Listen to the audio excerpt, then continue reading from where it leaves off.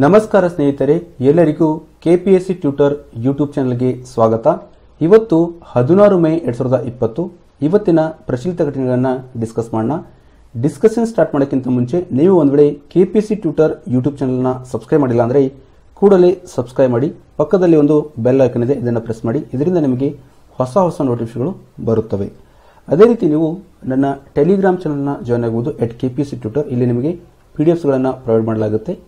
ಅದೇ ರೀತಿ ಪ್ರತಿ ವಾರದ ಅಂತ್ಯದಲ್ಲಿ, ಅಂದರೆ ಇವತ್ತು ಸಾಟರ್ಡೆ ನಾಳೆ ಸಂಡೇ ನಾಳೆ ನಾನು ಈ ಒಂದು ವಾರದಲ್ಲಿ, ಹಿಂದಿನ ವಾರದಲ್ಲಿ ಏನೇನು ಕರೆಂಟ್ ಅಫೇರ್ಸ್ಗೆ ಸಂಬಂಧಪಟ್ಟ ಏನೇನು ಇಂಪಾರ್ಟೆಂಟ್ ಟಾಪಿಕ್ಸ್ ಇವೆ ಅದರ ಮೇಲೆ ಒನ್ ಲೈನ್ ಲೆಸನ್ ಅನ್ನ ನಾನು ಡಿಸ್ಕಸ್ ಮಾಡ್ತೀನಿ. ಒಂದು ವಾಕ್ಯದ ಪ್ರಮುಖ ಅಂಶಗಳನ್ನು ನಾನು ಡಿಸ್ಕಸ್ ಮಾಡ್ತೀನಿ.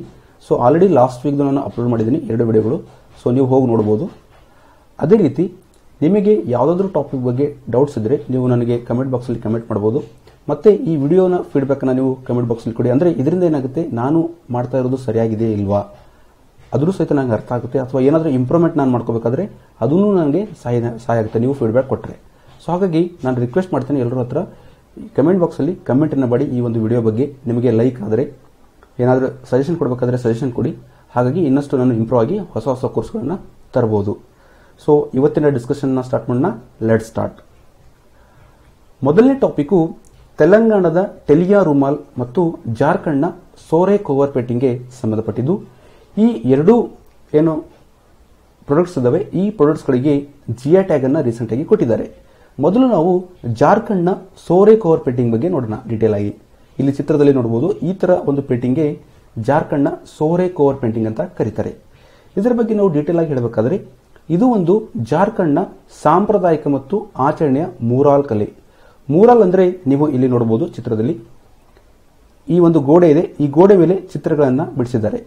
ಆ ಚಿತ್ರಗಳನ್ನ ಯಾವಾಗ ಬಿಡಿಸ್ತಾರೆ ಅಂದ್ರೆ ಈ ಸೀಸನಲ್ ಆಗಿ ಹಾರ್ವೆಸ್ಟಿಂಗ್ ಇರುತ್ತೆ ಅಥವಾ ಮದುವೆ ಇರುತ್ತೆ. ಆ ಸಂದರ್ಭದಲ್ಲಿ ಹೆಣ್ಣು ಮಕ್ಕಳು ಚಿತ್ರವನ್ನ ಈ ತರ ಏನ್ ಬಿಡಿಸ್ತಾರೆ? ಗೋಡೆ ಮೇಲೆ. ಅದನ್ನ ಮೂರಲ್ ಆರ್ಟ್ ಅಂತ ಕರೀತಾರೆ.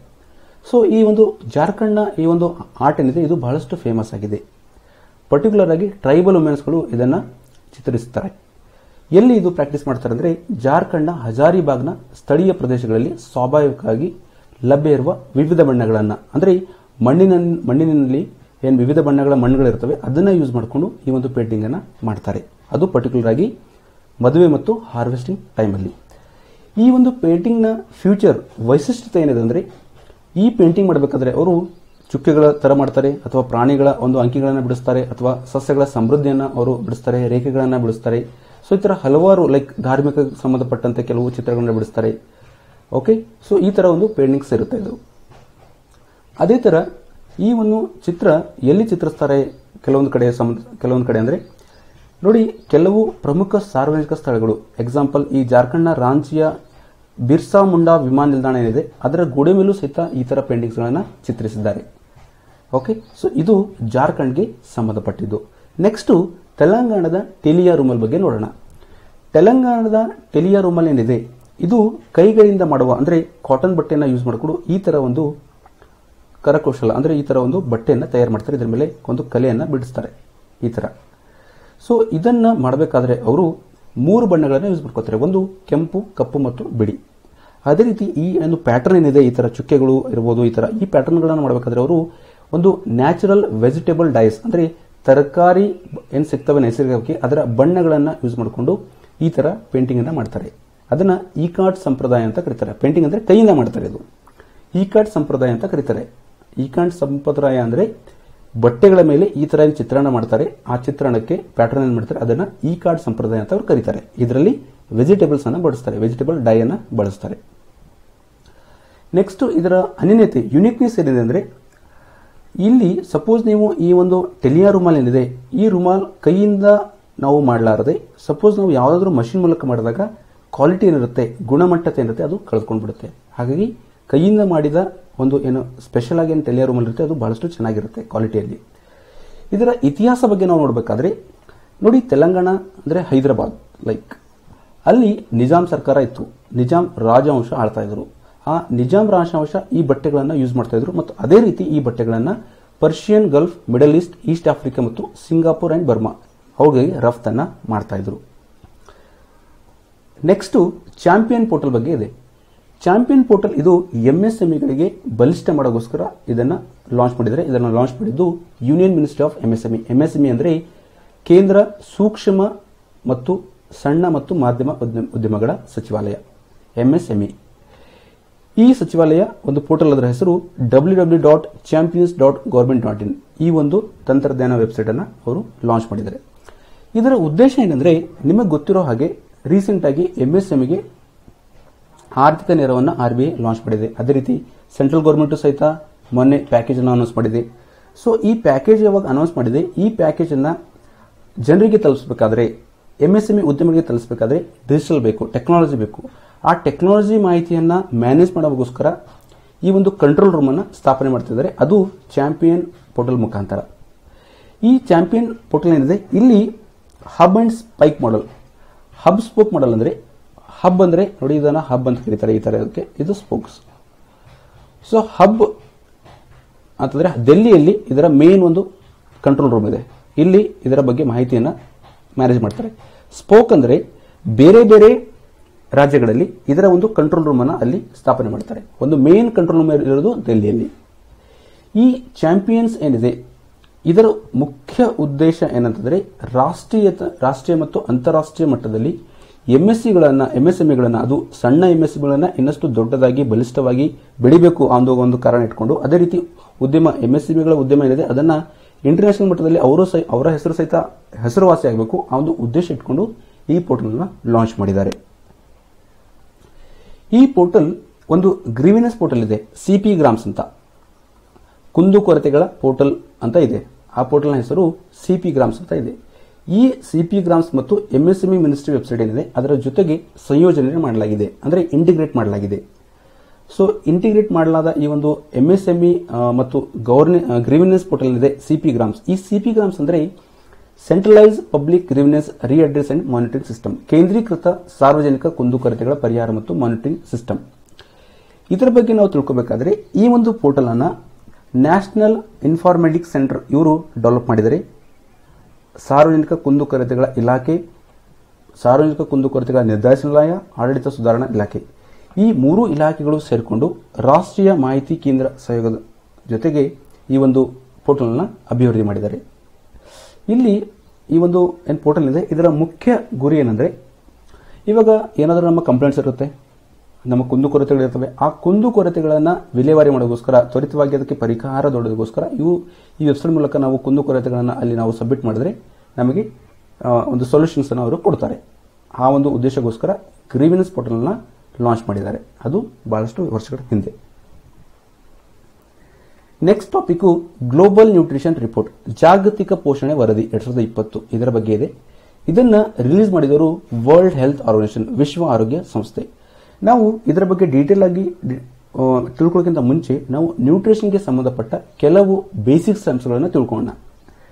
ಇದರಲ್ಲಿ ಬೇಸಿಕ್ ಟರ್ಮ್ಸ್ ಯಾವ ಬರುತ್ತೋ ಅಂದ್ರೆ ಒಂದು ಸ್ಟಂಟಿಂಗ್ ಬರುತ್ತೆ. ಸ್ಟಂಟಿಂಗ್ ಅಂದ್ರೆ ವಯಸ್ಸಿನ ಪ್ರಕಾರ ನಮ್ಮ ಎತ್ತರ ಕಡಿಮೆ ಆಗೋದು ಹೈಟ್ ಕಡಿಮೆ ಆಗುವುದು. ವೆಸ್ಟಿಂಗ್ ಅಂದ್ರೆ ಅದನ್ನ ಕನ್ನಡದಲ್ಲಿ ವ್ಯರ್ಥ ಅಂತ ಕರೀತಾರೆ. ನಮ್ಮ ಹೈಟ್ ಜಾಸ್ತಿ ಆದಾಗ ಹೋದಾಗ ನಮ್ಮ ತೂಕ ಏನಾಗುತ್ತೆ? ಕಡಿಮೆ ಆಗ್ತಾ ಹೋಗುತ್ತೆ. ಸೊ ಒಂದು ವೇಳೆ ತೂಕ ಕಡಿಮೆ ಆಗ್ತಾರೆ ಅದಕ್ಕೆ ವೆಸ್ಟಿಂಗ್ ಅಂತ ಕರೀತಾರೆ. ಅಂಡರ್ ವೇಟ್ ಅಂದ್ರೆ ವಯಸ್ಸಿಗೆ ತಕ್ಕಂತೆ ನಮ್ಮ ತೂಕ ಕಡಿಮೆ ಆಗುವುದು. ಮಾಲ್ ನ್ಯೂಟ್ರಿಷನ್ ಮಾಲ್ ನ್ಯೂಟ್ರಿಷನ್ ಅಂದ್ರೆ ಅಪೌಷ್ಟಿಕತೆ. ಇದರಲ್ಲಿ ಎರಡು ಬರುತ್ತೆ. ಒಂದು ಅಂಡರ್ ನ್ಯೂಟ್ರಿಷನ್ ಮತ್ತು ಇನ್ನೊಂದು ಓವರ್ ನ್ಯೂಟ್ರಿಷನ್ ಸಪೋಸ್ ನಮ್ಮ ದೇಹಕ್ಕೆ ಬೇಕಾದಷ್ಟು ಪೌಷ್ಟಿಕತೆಗಿಂತ ನಾವು ಕಡಿಮೆ ತೆಗೆದುಕೊಂಡ್ರೆ ಅದನ್ನ ಅಂಡರ್ ನ್ಯೂಟ್ರಿಷನ್ ಅಂತ ಕರೀತಾರೆ. ಸಪೋಸ್ ನಾವು ಜಾಸ್ತಿ ತೆಗೆದುಕೊಂಡ್ರೆ ಅದನ್ನ ಓವರ್ ನ್ಯೂಟ್ರಿಷನ್ ಅಂತ ಕರೀತಾರೆ. ಅನೇಮಿಯಾ ಅನೇಮಿಯಾ ಅಂದ್ರೆ ರಕ್ತಹೀನತೆ. ಈ ರಕ್ತಹೀನತೆ ಎಲ್ಲಿ ಕಂಡು ಬರುತ್ತೆ ಅಂದ್ರೆ ಆರೋಗ್ಯಕರ ಕೆಂಪು ರಕ್ತ ಕಣಗಳ ಕೊರತೆ ಇದ್ದಾಗ ಮಾತ್ರ ನಮಗೆ ರಕ್ತಹೀನತೆಯನ್ನು ಕಂಡು ಬರುತ್ತೆ. ಸೊ ಇವು ಬೇಸಿಕ್ ಟರ್ಮ್ಗಳು ಅದೇ ರೀತಿ ಈ ಗ್ಲೋಬಲ್ ನ್ಯೂಟ್ರಿಷನ್ಗೆ ಸಂಬಂಧಪಟ್ಟಂತೆ ಗ್ಲೋಬಲ್ ನ್ಯೂಟ್ರಿಷನ್ ಟಾರ್ಗೆಟ್ಸ್ ಗಳನ್ನ ಎರಡ್ ಸಾವಿರದ ಹನ್ನೆರಡರಲ್ಲಿ ವರ್ಲ್ಡ್ ಹೆಲ್ತ್ ಅಸೆಂಬ್ಲಿ ವಿಶ್ವ ಆರೋಗ್ಯ ಸಭೆ, ಇವರು ಸೆಟ್ ಮಾಡಿದ್ರು ಗೋಲ್ಸ್ಗಳು ಸೆಟ್ ಮಾಡಿದ್ರು. ಟೋಟಲ್ಗೆ ಆರು ನ್ಯೂಟ್ರಿಷನ್ ಟಾರ್ಗೆಟ್ಸ್ ಗಳನ್ನ ಸೆಟ್ ಮಾಡಿದ್ರು. ಆ ನ್ಯೂಟ್ರಿಷನ್ಗಳು ಮೆಟರ್ನಲ್ ತಾಯಿಯ ಬಗ್ಗೆ, ಶಿಶು ಮತ್ತು ಚಿಕ್ಕ ಮಕ್ಕಳ ಪೋಷಕಾಂಶಗಳ ಬಗ್ಗೆ ಇತ್ತು.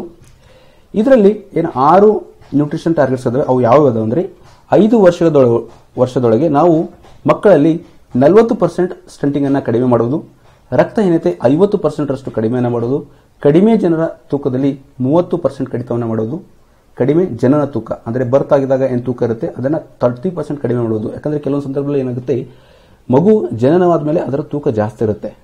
ಸೊ ಈ ಥರ ಇರುವ ಮಕ್ಕಳ ಒಂದು ತೂಕವನ್ನು ತರ್ಟಿ ಪರ್ಸೆಂಟ್ ಕಡಿಮೆ ಮಾಡಬೇಕು. ಬಾಲ್ಯದ ಅಧಿಕ ತೂಕದಲ್ಲಿ, ಬಾಲ್ಯದಲ್ಲಿ ಜಾಸ್ತಿ ತೂಕ ಇದ್ದಾಗ ಅದನ್ನು ಹೆಚ್ಚಾಗದಂತೆ ನಾವು ನೋಡ್ಕೋಬೇಕು. ಸ್ತನಪಾನ ಪ್ರಮಾಣ, ಅಂದರೆ ಬ್ರೀಸ್ಟ್ ಫೀಡಿಂಗ್ ನೋಡಿ, ಮಕ್ಕಳಲ್ಲಿ ತಾಯಿಯ ಹಾಲು ಬಹಳಷ್ಟು ಇಂಪಾರ್ಟೆಂಟ್ ಆಗುತ್ತೆ ಬೆಳವಣಿಗೆಗೋಸ್ಕರ.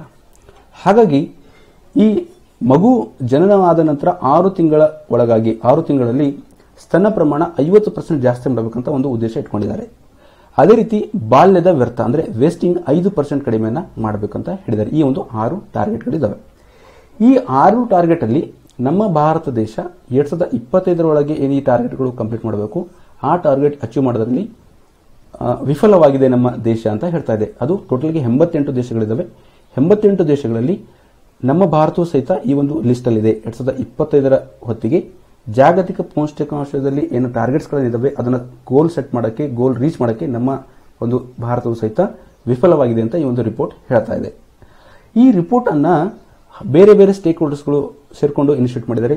ಅದೇ ಮಧ್ಯಗಸ್ತರ ಗುಂಪು, ಸ್ವತಂತ್ರ ತಜ್ಞರ ಗುಂಪು, ವರದಿ ಸಚಿವಾಲಯ ಇವರುಗಳು ಒಳಗೊಂಡ ಇದು ಒಂದು ರಿಪೋರ್ಟ್ ಆಗಿದೆ. ಅಂದ್ರೆ ಅವರು ರೆಡಿ ಮಾಡ್ತಾರೆ ಈ ಒಂದು ರಿಪೋರ್ಟ್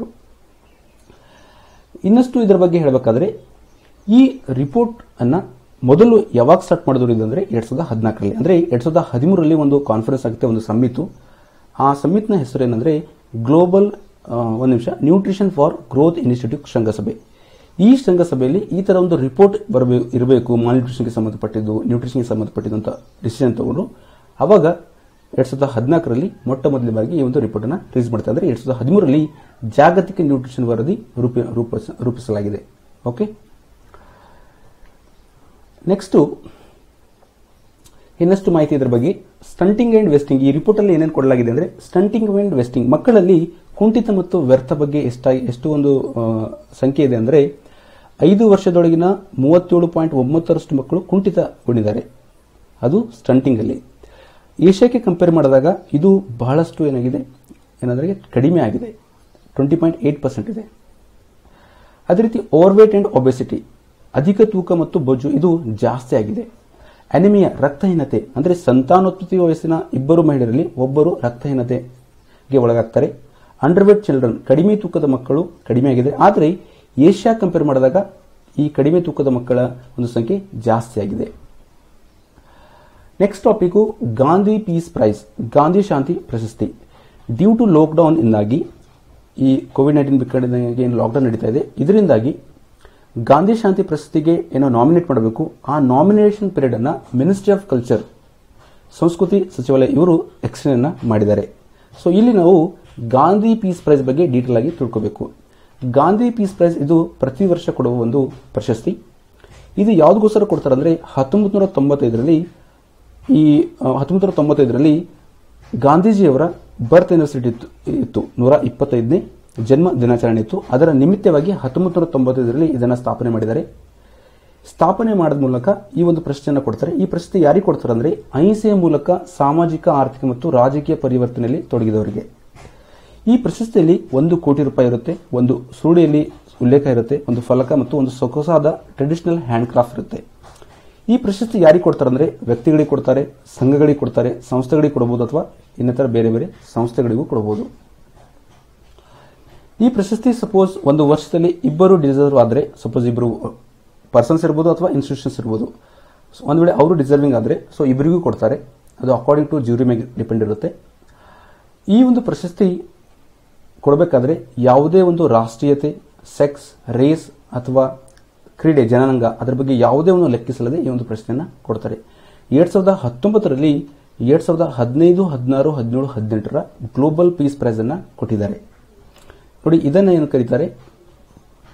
ಒಂದು ಸುರುಳಿ ಕರೀತಾರೆ. ಒಂದು ಸುರುಳಿ ಕರೀತಾರೆ ಇದನ್ನ. ಸೊ ಇಲ್ಲಿ ಉಲ್ಲೇಖ ಮಾಡಿರುತ್ತೆ ಎಷ್ಟು ಪ್ರೈಸ್ ಅನ್ನ ಕೊಡ್ತೀವಿ ಅಂತ ಎಲ್ಲ ಉಲ್ಲೇಖ ಮಾಡಿರಲಾಗುತ್ತೆ. ನೆಕ್ಸ್ಟ್ ಟಾಪಿಕ್ ವಿಶ್ವದ ಮೊದಲ ಟ್ರಿಲಿನಿಯರ್, ಅಂದರೆ ಎರಡು ಸಾವಿರದ ಮೂವತ್ಮೂರರ ವೇಳೆಗೆ ವಿಶ್ವದ ಮೊದಲ ಟ್ರಿಲಿನಿಯರ್ ಆಗುವರು ಜೇಫ್ ಬಿಜುಸ್. ಇವರು ಅಮೆಜಾನ್ ಸ್ಥಾಪಕ, ಅಮೆಜಾನ್ ಸಂಸ್ಥೆಯ ಸ್ಥಾಪಕ. ಇವರು ಎರಡು ಸಾವಿರದ ಮೂವತ್ಮೂರರಲ್ಲಿ ವಿಶ್ವದ ಮೊದಲ ಟ್ರಿಲಿನಿಯರ್ ಎಂಬ ಒಂದು ಹೆಗ್ಗಳಿಕೆ ಪಾತ್ರರಾಗ್ತಾರಂತ ಉದ್ಯಮ ಸಲಹಾ ಸಂಸ್ಥೆ ಕಂಪ್ಯೂಸನ್ ಈ ಒಂದು ಸಂಸ್ಥೆ ಸಂಶೋಧನೆ ನಡೆಸಿ ಅದರ ಪ್ರಕಾರ ಹೇಳಲಾಗಿದೆ. ನಮ್ಮ ಭಾರತದ ಬಗ್ಗೆ ಹೇಳಬೇಕಾದ್ರೆ, ಭಾರತದ ಅತ್ಯಂತ ಸರಿವಂತ ಉದ್ಯಮಿ ಮುಖೇಶ್ ಅಂಬಾನಿ ಇವರು ಈ ಒಂದು ಲಿಸ್ಟ್ಲಿ ಐದನೇ ಸ್ಥಾನವನ್ನು ಪಡೆದುಕೊಳ್ಳಲಿದ್ದಾರೆ ಅಂತ ಹೇಳಲಾಗಿದೆ. ನೋಡಿ ರೀಸೆಂಟ್ ಆಗಿ ಕೋವಿಡ್ ನೈನ್ಟೀನ್ ಲಾಕ್ಡೌನ್ನಿಂದಾಗಿ ಬೇರೆ ಬೇರೆ ಕ್ರೀಡೆಗಳ ತರಬೇತಿ ಕೇಂದ್ರಗಳು ನಡೀತಾ ಕೇಂದ್ರಗಳಲ್ಲಿ ತರಬೇತಿ ನಡೀತಾ ಇಲ್ಲ. ಅಂದ್ರೆ ಟ್ರೈನಿಂಗ್ ಕೊಡಲಾಗ್ತಾ ಇಲ್ಲ ಅವರಿಗೆ. ಸೊ ಟ್ರೈನಿಂಗ್ ಲಾಕ್ಡೌನ್ ಆದ ಲಾಕ್ಡೌನ್ ಕ್ಲೋಸ್ ಆದ ಕೂಡಲೇ ಟ್ರೈನಿಂಗ್ ನಡೆಸಬೇಕಾ ಅಥವಾ ಹೇಗೆ ಕೊಡಬೇಕಾ ಅವರಿಗೆ, ಏನ್ ಮಾಡಬೇಕು ಅದ್ರ ಬಗ್ಗೆ ಒಂದು ಡಿಸ್ಕಷನ್ ಮಾಡಿದ್ದಾರೆ ರೀಸೆಂಟ್ ಆಗಿ. ಆ ಡಿಸ್ಕಷನ್ ಮಾಡೋಕ್ಕೋಸ್ಕರ ಒಂದು ಕಮಿಟಿಯನ್ನು ರಚನೆ ಮಾಡಿದ್ದಾರೆ. ಆ ಕಮಿಟಿ ಹೆಸರು ರೋಹಿತ್ ಭಾರದ್ವಾಜ್ ನೇತೃತ್ವದ ಸಾಯಿ ಕಮಿಟಿ. ಈ ಕಮಿಟಿ ಇವಾಗ ರಿಪೋರ್ಟ್ ಅನ್ನ ಸಲ್ಲಿಸಿದೆ. ಕ್ರೀಡಾ ಸಚಿವಾಲಯಕ್ಕೆ. ಸೊ ಅಂದರೆ ರಿಪೋರ್ಟ್ ಏನು ಸಲ್ಲಿಸಿದೆ ಅಂದರೆ ಕೆಲವು ಮುನ್ನೆಚ್ಚರಿಕೆ ಕ್ರಮಗಳನ್ನು ಕೈಗೊಳ್ಳಬೇಕು. ಸಪೋಸ್ ಇವಾಗ ಲಾಕ್ಡೌನ್ ಕ್ಲೋಸ್ ಆದಮೇಲೆ ಈ ತರಬೇತಿ ಕೇಂದ್ರಗಳು ಸ್ಟಾರ್ಟ್ ಮಾಡಬೇಕು. ತರಬೇತಿ ಕೇಂದ್ರಗಳು ಸ್ಟಾರ್ಟ್ ಮಾಡಿದಾಗ ಅಲ್ಲಿ ಕೆಲವು ಮುನ್ನೆಚ್ಚರಿಕೆ ಕ್ರಮಗಳನ್ನು, ಮುಂಜಾಗ್ರತೆ ಕ್ರಮಗಳನ್ನು ಕೈಗೊಳ್ಳಬೇಕಂತ ಈ ಒಂದು ರಿಪೋರ್ಟಲ್ಲಿ ಹೇಳಲಾಗಿದೆ. ನಮಗೆ ಇಲ್ಲಿ ಇಂಪಾರ್ಟೆಂಟ್ ಆಗಿರೋದು ಕಮಿಟಿ ಹೆಸರು. ಅದು ರೋಹಿತ್ ಭಾರದ್ವಾಜ್ ನೇತೃತ್ವದ ಕಮಿಟಿ ಇವತ್ತಿನ ಒಂದು ಸಾಲಿನ ಪ್ರಮುಖ ಮುಖ್ಯಾಂಶಗಳಿಗೆ ನೋಡೋಣ ನೋಡಿ, ನಾನು ನಿಮಗೆ ರೀಸೆಂಟ್ ಆಗಿ ಎಚ್ ಕಾರ್ಡ್ ಅಂತ ಒಂದು ರೋಬೋಟ್ ಡಿವೈಸ್ ಬಗ್ಗೆ ಡಿಸ್ಕಸ್ ಮಾಡಿದೆ. ಎಚ್ ಕಾರ್ಡ್ ಡಿವೈಸ್ ಇದರ ಉದ್ದೇಶ ಏನಿತ್ತಂದ್ರೆ ಕೋವಿಡ್ ನೈನ್ಟೀನ್ ಪೇಷಂಟ್ಸ್ ಏನೆಂದರೆ, ಆ ಕೋವಿಡ್ ನೈನ್ಟೀನ್ ಪೇಷಂಟ್ಸ್ಗಳಿಗೆ ಟ್ರೀಟ್ಮೆಂಟ್ ಕೊಡಬೇಕಾದ್ರೆ, ಆರೋಗ್ಯ ಸಿಬ್ಬಂದಿಕರು ಕಾಂಟ್ಯಾಕ್ಟ್ ಅಲ್ಲಿ ಬರ್ತಾರೆ, ಸಂಪರ್ಕ ಸಂಪರ್ಕದಲ್ಲಿ ಬರ್ತಾರೆ, ಅಥವಾ ಆಹಾರ ಕೊಡಬೇಕಾದ್ರೆ ಮೆಡಿಸಿನ್ ಕೊಡಬೇಕಾದ್ರೆ. ಸೊ ಇದರಿಂದ ಆರೋಗ್ಯ ಸಿಬ್ಬಂದಿಗಳಲ್ಲಿ ಸಹಿತ ಸೋಂಕು ಒಂದು ಸಂಭವ ಇರುತ್ತೆ. ಅದನ್ನು ತಪ್ಪಿಸೋಗೋಸ್ಕರ ಎಚ್ ಕಾರ್ಡ್ ಎಂಬುದು ಒಂದು ಡಿಆರ್ಡಿದವರು ಲಾಂಚ್ ಮಾಡಿದರು.